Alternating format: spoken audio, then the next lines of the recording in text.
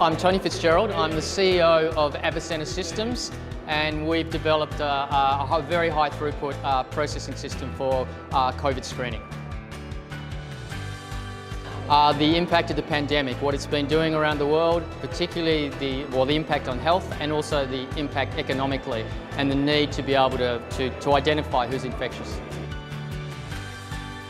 The company's not about the awards, it's very nice to get the recognition, but, but the, real, the real reason is to, to make an impact on, uh, on being able to reduce the impact of the, of the pandemic. It's really to do with that and to be able to, to accurately and quickly detect uh, who's infectious uh, with COVID and who's not.